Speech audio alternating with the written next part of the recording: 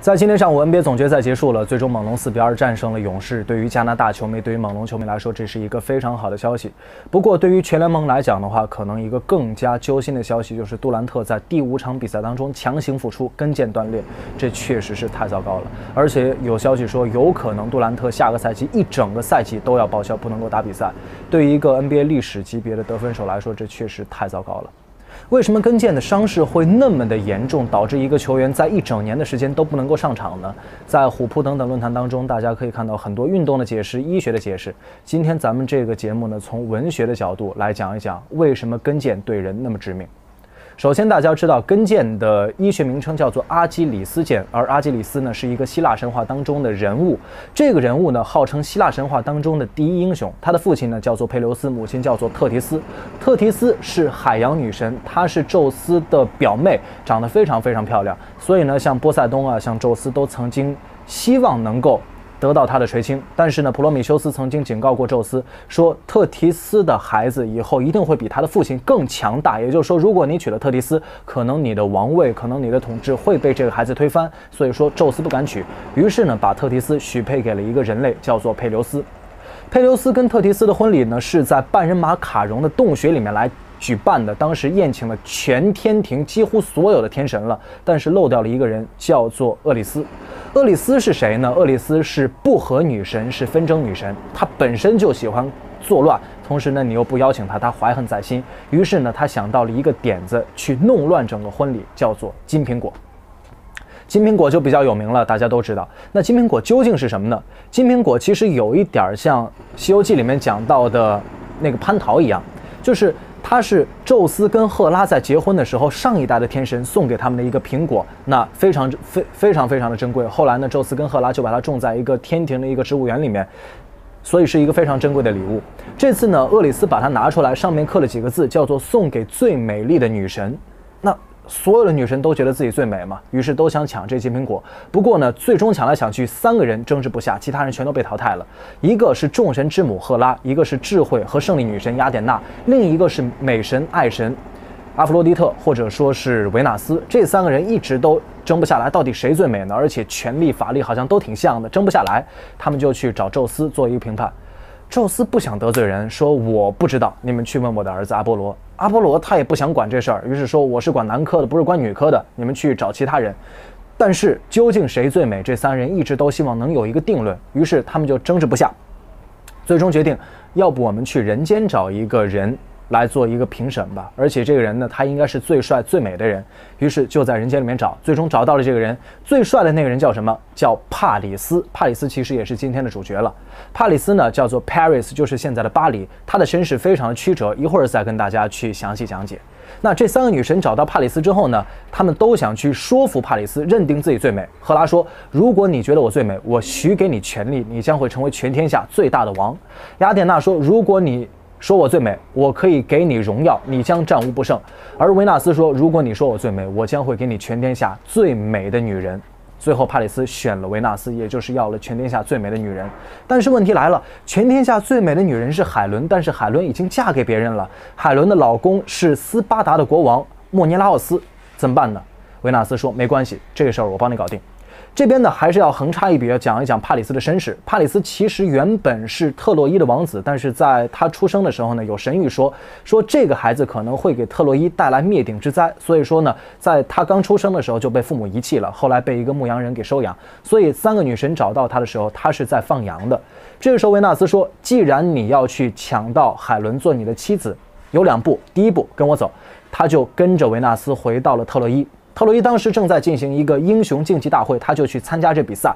然后呢，在维纳斯的帮助下，战无不胜，包括特洛伊的第一英雄赫克托尔也被他打败了。于是他回复了自己特洛伊王子的身份，这是第一步。第二步是什么呢？就是他们以特洛伊王子这身份去到了斯巴达进行一个国事访问。到了斯巴达之后呢，莫涅拉奥斯非常非常的热情，很好的去款待了他们。但是在访问的过程当中呢，莫涅拉奥斯突然有事儿，他说他要去一趟克里特岛，于是就走了。与此同时呢，要求自己的妻子海伦热情的款待这批人。但是就在这过程当中呢，帕里斯花言巧语就把海伦给说动了，于是两个人私奔，同时把斯巴达的财宝给带走了。莫尼拉奥斯回来之后非常的生气啊！我那么好的对你，你居然绿我，受不了，于是就去找他的兄弟阿伽门农。阿伽门农是谁？阿伽门农是地中海沿岸非常非常强大的一个国家，叫做迈锡尼国的一个国王，同时呢已经征服了相当多沿海的国家了。于是就加上这个斯巴达，组成了一个希腊联军去讨伐特洛伊，去讨到一个公正。但是在出发之前呢，阿伽门农得到了一个神谕，又是神谕。这神谕说，如果你们希望去取得这场战争的胜利的话，必须要得到一个人的支持，这个人就是阿基琉斯，也就是今天话题的主角了。但是要找到阿基琉斯非常不容易，因为特迪斯在。阿基琉斯刚出生的时候，就听到了一个预言，说阿基琉斯这人一定会名垂青史，一定会非常非常的伟大，但是他不得善终，会死在战场上。于是呢，特迪斯就非常非常担心这个小孩可能会死于非命，所以在阿基琉斯刚出生的时候，还是婴儿的时候，就把他带去了冥河里面浸泡他的全身。浸过冥河水之后，他浑身刀枪不入。不过呢，因为冥河水非常的湍急，所以他必须要拽住阿基里斯的脚后跟儿，这样才能够让他不被冲走。但是这也留下了隐患，就是阿基里斯的脚后跟不是刀枪不入的。当然，还有一种说法，不是在冥河里面，说是把阿基里斯用这个天火烧了身体，然后他的身体呢变成了一个神的身体，所以说没关系。但同样在脚后跟这一块也是空出来的，这话先不讲。当特提斯发现阿伽门农要过来找阿基里斯作为帮手的时候，他就非常的紧张，因为他知道其实。阿基里斯在预言当中说会死于非命，就是在这场特洛伊战争当中，所以不希望他出战，于是呢就去把这个阿基里斯藏了起来。但是呢，阿基里斯的是，但是呢，阿基里斯藏身的位置啊，后来被透露了，于是阿伽门农包括这个奥德修斯就找到了那个位置。这个时候呢，特提斯没有办法，就只好让阿基里斯穿上女装，希望让阿伽门农到的时候还是找不到他。那这个时候，阿伽门农他们就想了一个办法，就是在宫殿门口放了很多金银财宝。这时候呢，好多穿着女装的人就出来，要挑选呃适合自己的首饰、珠宝等等等等。但这时候有一个人穿着女装在那儿，什么都不看，他在看武器。那这人一定就是阿基里斯了。所以呢，阿伽门农就找到了阿基里斯。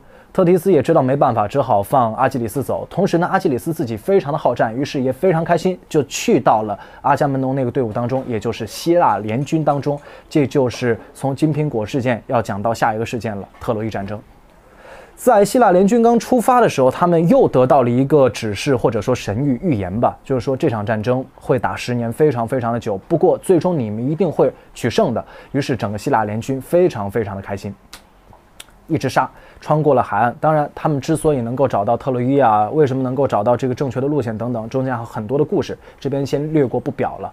当希腊联军到达了特洛伊城前的时候，他们就开始大战。然后开始打，这时候呢，希腊联军战无不胜，非常非常的勇猛。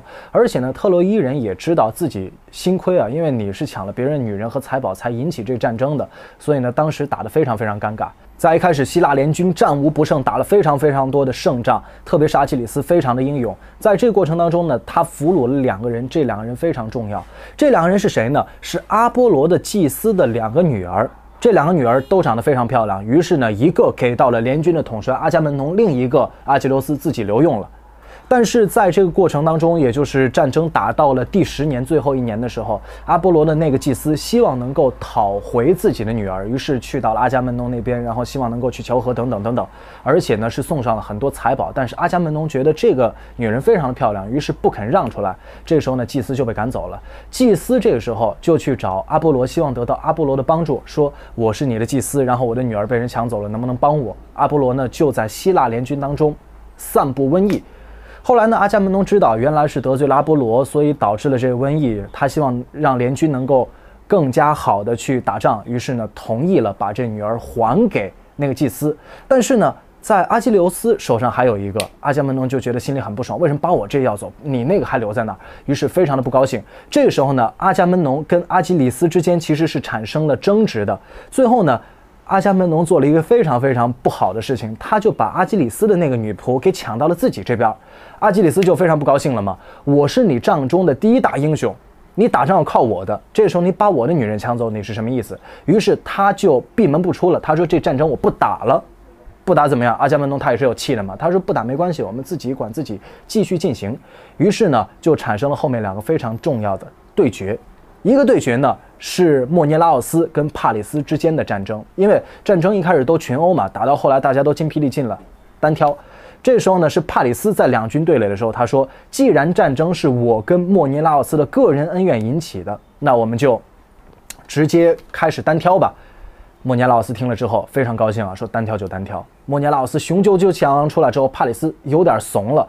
这时候呢，赫克托尔也就是特洛伊的第一大英雄，就指责帕里斯说：“你不能怂，你引起了这个战争，我们都在帮你，你自己怎么能怂呢？”于是帕里斯被迫出战，两个人就在军前对垒。希腊他们的一个对垒方式啊，非常有趣，是回合制的，互相投标枪，看谁能够射死对方。帕里斯先投，先投投中了莫尼拉奥斯的那个盾牌，但是没有能够刺穿。回来之后，莫尼拉奥斯还了一支标枪，这个标枪刺穿了帕里斯的盾牌，帕里斯当时差点死了嘛。然后呢，莫尼拉奥斯很快的就要把这个帕里斯拉回阵中当俘虏。这时候很奇怪，神突然出现了，维纳斯。打破了帕里斯的那个头盔，因为帕里斯是帮他的嘛，帮他得到了最美女神的称号。打破了那个头盔，把帕里斯给救了回去。莫尼拉奥斯也没有办法。这个时候呢，双方又从单挑变成了混战，又变成了群殴，双方怎么打都打不下来。于是又进入到第二阶段，又是单挑。这单挑是哪两个人呢？一个就是刚刚讲到的，在特洛伊城中当中的第一大英雄赫克托尔，另一个在希腊联军当中也是一个大勇士，叫做埃阿斯。埃阿斯是谁呢？埃阿斯有一个绰号叫做希腊神话当中的第二英雄，仅次于阿基里斯。他是一个非常魁梧的巨人，战斗能力非常强，甚至说在武力方面跟阿基里斯是差不多的。而且在后世也会流传很多他的传说，比方说在荷兰的足球俱乐部当中有一个豪门叫做阿贾克斯，其实就是这个埃阿斯，不过是不同的翻译法而已。话说回来，埃阿斯跟赫克托尔又开始激战，这个战。这个单挑就打得非常有趣了，你来我往，你来我往。不过呢，因为埃阿斯他那个盾牌啊有七层的牛皮包裹，所以呢一次一次当赫克托尔那个标枪刺中他的盾牌的时候，永远都刺不穿。所以呢两个人就僵持不下，打得非常非常的热闹。最后两个人英雄惜英雄，觉得你也很厉害，我也很我我也很厉害，那我们就相互的交换这个战利品吧，我们就成为好朋友。同时呢战争讲和。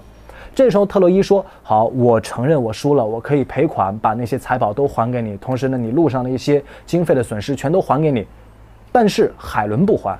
希腊联军这边当然不乐意了，这个战争还是要继续的打下去。就到了战争的第三个阶段了。第三个阶段变成了一个人神之间的混战。在希腊这边呢，雅典娜在帮忙，在。”特洛伊那边呢，有战神阿瑞斯在帮忙，两边打得非常非常的乱。这时候呢，让咱们把时间线调回到阿基里斯跟阿伽门农起矛盾的那个争执点。当时的阿基里斯回到自己的帐篷当中，他心想自己不止不参战，而且要给阿伽门农带来一些麻烦。于是，在心里面暗自许愿，他说，当自己在复出战场之前，希望阿伽门农的军队能够节节败退。于是呢，他把自己这个心愿告诉了母亲特提斯，特提斯又把这心愿告诉了。呃，众神之王宙斯，宙斯呢就慢慢的、偷偷的去施法术，然后让这个战争的天平倒向特洛伊这边。好了，在我们提到群战跟单挑。都已经结束之后，这时候已经进入到下一个僵持阶段了。这个时候呢，阿伽门农心想，这个战争拿不下来，已经十年了，怎么办？只好再去祈求阿基里斯，但是阿基里斯还是不管。然后呢，阿伽门农就去请求阿基里斯的一个挚友、好朋友。有人说啊，不仅仅是挚友，不仅仅是好朋友，而且好像是一个同性恋的性伙伴一样，就这样的一个角色。那个角色去请求阿基里斯，阿基里斯还是不肯打。于是他说：“那这样吧，你自己不打没关系，把你的金盔金甲都给我。”要知道，阿基里斯这金盔金甲是非常珍贵的，他的盔甲是火神送的，他的坐骑那匹马是波塞冬送的，海神送的，而他的长矛是半人马卡戎送的，所以是一套非常豪华的装备。但是，当阿基里斯这好朋友穿了阿基里斯的装备出去之后，赫克托尔，也就是特洛伊城的第一大英雄，觉得啊，你就是阿基里斯啊，于是很快的就把那个好朋友给做掉了。这个时候，阿基里斯非常的后悔，非常的恼怒，于是选择参战。他参战之后，整个战争的形势就不一样了，大杀四方，同时找到了赫克托尔，一下就把赫克托尔给做掉了。但是呢，他由于当时情绪非常的上头，做了一个很不理智的事情，就是把赫克托尔的尸体拿出来鞭尸了好久，这就惹恼了在特洛伊城里面的守护神阿波罗。阿波罗觉得你这小子好像不懂事儿啊，于是呢，就弯弓射箭，一箭射中了阿基里斯的脚后跟，阿基里斯就这样去世了。也就是他的母亲忘记在圣火里面去烤，忘记在冥河里面去浸的那个脚后跟。所以在我们现在呢，阿基里斯之踵也被称为一个人最致命的缺点了。这就是今天要讲的主要故事。不过呢，尽管阿基里斯去世了，特洛伊战争并没有结束。有一天早晨，特洛伊人打开他们的城门一看，哎，整个海滩上空无一人，他的对手希腊联军全部撤退了。